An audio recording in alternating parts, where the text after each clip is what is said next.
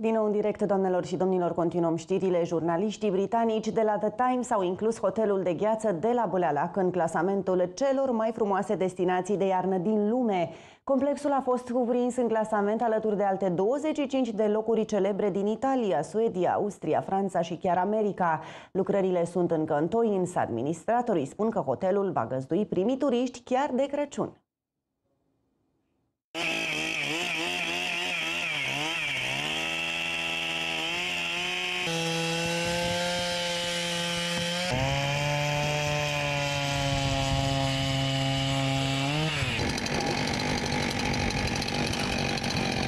La Bâlealac se lucrează de zori la hotelul de gheață care a fost clasat pe locul 8 în topul celor mai frumoase destinații înzăpezite din lume. Muncitorii se ocupă intens de ridicarea ultimelor igluri pentru ca în următoarele zile să fie mobilate și amenajate.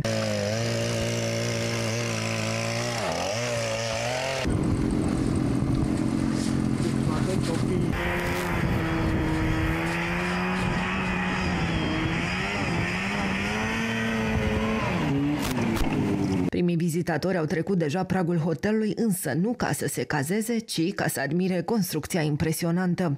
Grozav, extraordinar. Mă bucur că avem așa ceva în România, nu trebuie să plecăm în alte țări uh, pentru, pentru așa ceva. Mă impresionat foarte mult uh, aspectul și lucru manual. Și da, uh, intenția mea este să vin aici să văd lucruri noi. E frumos, sunt constructor de meserie și sunt impresionat. E frumos, e fantastic. Printre turiști s-au regăsit și câțiva străini care au fost amuțiți de peisaj. Fantastic, it's beautiful, it's a new concept is to building, it's fantastic. It's different uh, other sites uh, we are visiting. In Uh, Spain is no, never, never, No. never I see nothing. It's fantastic. Very impressive. It feels like it's been sculpted from the ice, and it looks like a.